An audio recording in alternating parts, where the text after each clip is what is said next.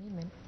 ចាស់យើងវិលមកជួបគ្នាសារជាថ្មីម្ដងទៀតនៅក្នុងព័ត៌មានជាច្រើននៅក្នុងកម្មវិធីនៃសមាជិកមិនអាននៅក្នុងអវគ្គនេះហើយមកពីព័ត៌មានដែលទទួលបានមកពីខេត្តក្រចេះនោះគឺចាំមន្ត្រីក្រមការងាររបស់គណៈបកប្រជាជនកម្ពុជាគឺកាលពីថ្ងៃម្សិលមិញបានចុះជួបសំណេះសំណាលជាមួយនឹងសមាជិកសមាជិការបស់ខ្លួនក៏ដូចជាដើម្បីពង្រឹងនៅគោលចំហនៃការអភិវឌ្ឍនៅក្នុងមូលដ្ឋាននេះឲ្យកាន់តែមានការជឿនលឿនថែមទៀត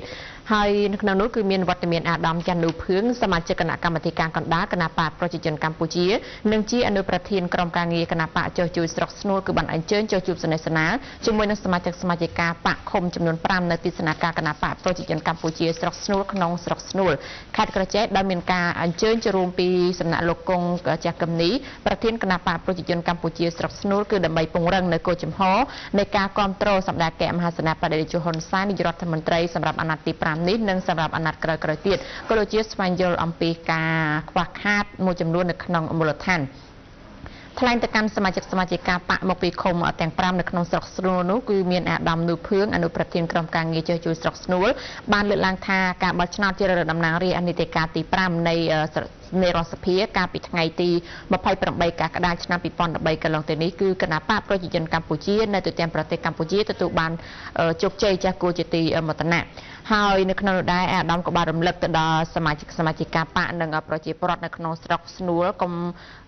កុំដោយរយចាស់តាមការញុះញង់របស់គណៈបកផ្សេងចាស់ជាពិសេសនោះគឺការធ្វើបាតកម្មប្រឆាំងទៅនឹងលទ្ធផលនៃការបោះឆ្នោតកាលពីពេលថ្មីថ្មីកន្លងទៅនេះគឺត្រូវតែខិតខំពង្រឹងនៅការងារសន្តិសុខស្ដាប់ធ្នាប់សាធារណៈអនុវត្តនៅគោលនយោបាយភូមិឃុំមានសុវត្ថិភាពជូនដល់ប្រជាពលរដ្ឋនិងជួយប្រជាជននៅក្នុងការងារបង្កប់បង្កើនផលពីព្រោះយើងដឹងហើយថាការធ្វើអបតកម្មទៅតាមការញុះញង់របស់ជនមួយក្តាប់តូចនោះគឺมันចំណេញនោះទេគឺធ្វើឲ្យមានអស្ថិរភាពនៅក្នុងប្រទេសក៏ដូចជាខាត់បងពេលវេលាខាត់បងប្រកាសរបស់បងប្អូនជាដើមអាដាមក៏បានមានប្រសាសន៍ប្រាំផ្ញើដល់ប្រធានបកស្រុកឃុំភូមិទាំងអស់សមាជិកបកគឺត្រូវបង្កើតនៅការសាមគ្គីភាពផ្ទៃក្នុងកុំឲ្យឲ្យល្អថែមទៀតគឺកុំឲ្យមានការរើសអើងចាស់បកណាបកណាហើយយើងត្រូវតែប្រកាន់ខ្ជាប់ក៏ដូចជាជំនឿជឿជាក់មកលើគណៈបកប្រជាជនជាពិសេសនោះគឺជាជំនះនៅក្នុងការបោះឆ្នោតកន្លងមកដែលសម្ដេចតេជោហ៊ុនសែនធ្វើជានាយករដ្ឋមន្ត្រីនីតិកាលទី5នៃរដ្ឋសភាខ្ញុំបាទឈ្មោះហ៊ុនតែនៅគុំស្រែនាមគុំជើងសព្វដែលមានការរីកចម្រើន ហើយនឹងសេចក្តីហើយនឹងដើម្បីអភិវឌ្ឍជូនប្រជាពលរដ្ឋដោយរីកចម្រើននេះ គឺជាអារម្មណ៍របស់ខ្ញុំក៏ដូចទឹកចិត្តរបស់មិនចង់ឲ្យមានសង្គ្រាមទៀតទេបាទគឺមានជំនឿជឿជាក់លើរាជរដ្ឋាភិបាលដែលបានជួយអភិវឌ្ឍយើងខ្ញុំទីមួយគឺជីវិតបាទដែលយើងខ្ញុំបានរស់រានមានជីវិតសប្តាហ៍នេះបកប្រឆាំងជាគណៈបកមួយដែលពង្វេងខ្ញុំមិនអាចទ្រាំទ្របានខ្ញុំសូមតំណាងឲ្យប្រជាពលរដ្ឋទាំងមូលការងារទាំងនេះគឺខ្ញុំមិនឯកភាពចំណែកខ្ញុំផ្ទាល់ ខ្ញុំនឹងទទួលស្គាល់ដាច់ខាតចំពោះគណៈប្រជាជនកម្ពុជាឈ្នះសិលឹកឆ្នោតដើម្បីប្រជាពលរដ្ឋដែលគេគ្រប់គ្រងនិងស្រឡាញ់ចាប់តាំងពីឆ្នាំ1993មកម្លេះ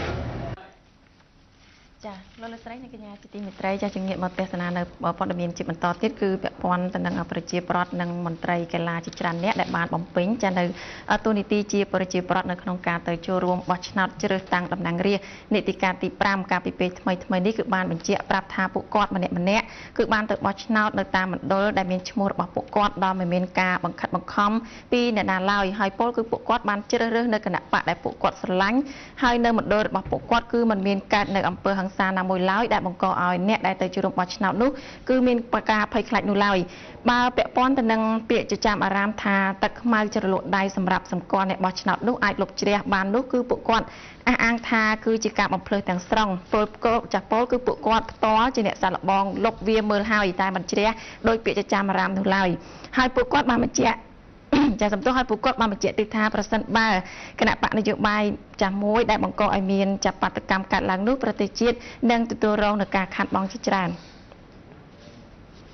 បាទសម្រាប់ខ្ញុំផ្ទាល់ខ្ញុំគិតថាវាមិនអាចទៅរួចទេបាទដោយសារទឹកឆ្នាំនេះខ្ញុំជឿជាក់ថាគេមានបច្ចេកវិទ្យាខ្ពស់ខ្ពស់ណាអញ្ចឹងការយកមកធ្វើនេះគឺខ្ញុំជឿថាมันអាចចលក់ហើយនឹងលុបបញ្ជ្រាជាក់ស្ដែងដូចជាដៃខ្ញុំអញ្ចឹង មើល9ថ្ងៃថ្ងៃនេះ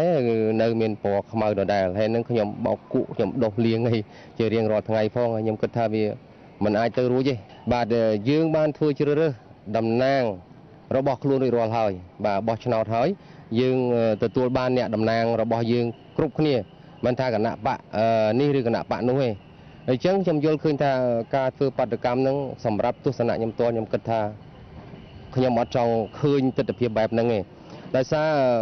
កាលណាធ្វើបដកម្មវាជះឥទ្ធិពលច្រើនបាទជះឥទ្ធិពលច្រើន ទី1វាប៉ះពាល់នឹងការរស់នៅប្រចាំថ្ងៃមានន័យថាពាក់ព័ន្ធនឹងតំណែងនៃការហូបចុកហ្នឹងក៏វាអាចឡើងអាចចុះអីចឹងវាវាជាចំណែកមួយហើយមួយទៀតនឹងធ្វើឲ្យក្រុមហ៊ុនវិនិយោគធំធំដែលគេមានបំណងចូលមកដាក់ក្នុងស្រុកខ្មែរខ្ញុំគិតថាគេនឹងទុចមកហើយវាអាចបើកាលណាមានបដកម្មខ្លាំងទៅទៀតវាអាចរហូតដល់បិទជាក្រុមហ៊ុនឬក៏ជារោងចក្រនេះ សម្រាប់ទស្សនៈខ្ញុំហើយខ្ញុំគិតថាអត់ឲ្យមានទេបន្ទាប់ពីយើងជ្រើសរើសបានតំណាងរាស្ត្ររបស់យើងហើយនឹងតាមគ្រប់ស្ថាប័នគ្រប់គណៈបកនឹងហើយនឹងដែលមានអត្តនៈនៅក្នុងសភាហើយនោះខ្ញុំបាទសំណូមពរទទូចឲ្យតំណាងរាស្ត្រទាំងអស់នោះមេត្តាចូលទៅអង្គុយនៅកៅអីដើម្បីពិភាក្សាគ្នាស្វែងរកយុទ្ធសាស្ត្រឈ្នះបាទគឺដើម្បីជាតិតែមួយបាទខ្ញុំអត់ចង់ឃើញទេរឿងការធ្វើបដកម្មទៅ មួយជីវិតនេះអត់ប្រាថ្នាចង់ឃើញទេបាទពីព្រោះកាលណាធ្វើវាតែងតែមានប៉ះពាល់ទៅលើបញ្ហាផ្សេងផ្សេងឥទ្ធិពលមិនល្អបើសិនជាមានបដកម្មអីទូទាំងប្រទេសអញ្ចឹងវាធ្វើឲ្យញ៉េញ៉ៃចលាចលអីចឹងវាប៉ះពាល់ដល់ការរស់ស៊ីប្រចាំថ្ងៃរបស់យើងសំបីតែការងារប្រចាំថ្ងៃរបស់យើងក៏យើងមិនបានទៅធ្វើការអី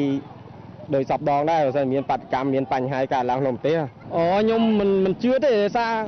ចាក់ដៃខ្ញុំផ្ទាល់វាដោះនៅអត់ណាក៏មានតែកញ្ចក់ ធំដោះយ៉ាងណាវាមិនអាចច្រាស់ភ្លាមបានដែរអូតកតងហ្នឹងបើគ្មានបដកម្មគ្មានអីវាល្អទេល្អភាសាជាបាទធ្វើឲ្យប្រទេសយើងវាអាចអភិវឌ្ឍទៅមុខបានបើមានបដកម្មមានអីវានាំតែអស្ថិរភាព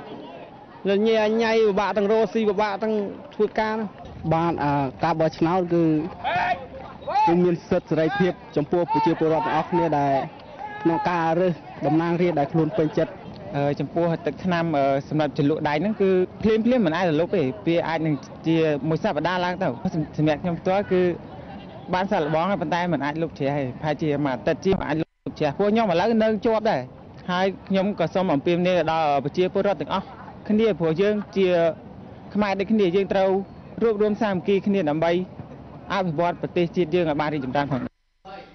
ចាស់ហើយក៏បញ្ជាក់ថាបន្ទាប់ពីការបោះឆ្នោតជ្រើសតាំងតំណាងរាស្ត្រនីតិកាលទី5ចាដែលបានបញ្ចប់ដោយជោគជ័យកាលពីថ្ងៃទី28ខែកក្កដាឆ្នាំ2013យើងឃើញថាប្រជាពលរដ្ឋដែលប្រកបរបររកស៊ីនៅទីក្រុងភ្នំពេញនិងប្រជាពលរដ្ឋដែលមានទីលំនៅចានៅក្នុងទីក្រុងភ្នំពេញតតែម្ដងនេះគឺបានទទួលរងនឹងការផិតភ័យដែលបង្កឡើងដោយជនអកតេមួយចំនួនបានបំផង់ព័ត៌មានចានៅក្នុងបំណងញុះញង់ឲ្យប្រទេសជាតិគឺមានភាពចលាចលវឹកវរហើយរហូតដល់ធ្វើឲ្យប្រជាពលរដ្ឋខ្លះពួកគាត់ត្រៀមស្បៀងអាហារសម្រាប់ចារត់ភៀសខ្លួននៅតាមទៅតាមជនបទទៀតចា៎បាទចា៎ដោយការលើកឡើងរបស់បងប្អូនជាប្រវត្តិមិញមិញក៏បងប្អូនបានឃើញគ្រប់មជ្ឈដ្ឋានទាំងអស់ទាំងនៅរាជភ្នំពេញរួមទាំងបណ្ដាខេត្តផ្សេងៗលោកទទួលយកបាននៅលទ្ធផលនៃការបោះឆ្នោតការបោះឆ្នោតអសេរីនិងយុត្តិធម៌គឺលោកទទួលយកបានហើយពាក់ព័ន្ធរឿងរឿងការតវ៉ាបាតកម្មអាចទុះចេញជាអំពើហិង្សាក្តីគឺគ្មាននរណាមួយចង់បានទេបងប្អូនជនរួមជាតិបានឃើញហើយហើយក៏សង្ឃឹមថា អ្វីដែលថ្នាក់ដឹកនាំលោកបានអំពាវនាវសូមឲ្យយើងមានការរួមរួមជាតិហើយនឹងការចង់បានរបស់លោកយាយលោកតាបងប្អូនទាំងក្នុងនិងក្រៅប្រទេសឲ្យមានការរួមរួមក៏សង្ឃឹមថានឹងមានលក្ខណៈល្អប្រសើរដើម្បីធ្វើយ៉ាងណាបន្តការអភិវឌ្ឍប្រទេសជាតិរបស់យើងបន្ថែមទៀតហើយរស់ក្រោមដំបូលសុខសន្តិភាពយ៉ាងសម្បូរសប្បាយនឹងរុងរឿងរបស់យើង។ បាទហើយយើងសប្បាយចិត្តពេលបើប៉ុណ្ណាប្រសិនបើយើងយើងឃើញហើយបាទប្រជាពលរដ្ឋរបស់យើងបាទអ្នកលេងកីឡានេះគឺគាត់លេងទៅបាទគឺគាត់សប្បាយរីករាយមកដូចហាត់ប្រាណងាកងាកនៅមុខកីឡាដ្ឋានជាតិអីហ្នឹងណាបាទអញ្ចឹងនេះជារឿងមួយដ៏ល្អហើយប្រការណាមានបញ្ហាគាត់អត់មានពេលមកឈរហាត់ប្រាណហាត់អីអញ្ចឹងទេអញ្ចឹងបាទ ចឹងបងប្អូនប្រជាពលរដ្ឋទូទាំងប្រទេសលោកកុំជឿបាទពាក្យចចាមរាមថាភ្នំពេញមានបញ្ហាអីនោះបាទគឺយើងឃើញហើយនេះអ្នកនៅភ្នំពេញថ្មនេះល្ងាចម្សិលមិញនេះគឺពួកគាត់ហាត់ប្រាណជាធម្មតាទេបាទហាត់ប្រាណជាធម្មតាហើយអញ្ចឹងគឺប្រជាពលរដ្ឋគាត់ប្រាថ្នាបាទសុខសន្តិភាពទៅធ្វើឲ្យពួកគាត់មានពេលដើរកំសាន្តមានពេលលេងកីឡា មានពេល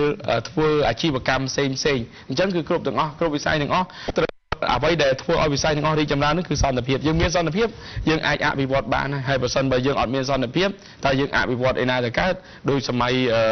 ដែលកម្ពុជារបស់យើងមានសង្គ្រាមសួរថាមិនកម្ពុជារីកចម្រើនអញ្ចឹងហើយចូលមានសង្គ្រាមណារីកចម្រើនអញ្ចឹងទាល់តែសុខទេសរបស់យើងរស់នៅក្នុងសន្តិភាពអញ្ចឹងយើងមានសន្តិភាពហើយតើយើងចង់បានអីទៀត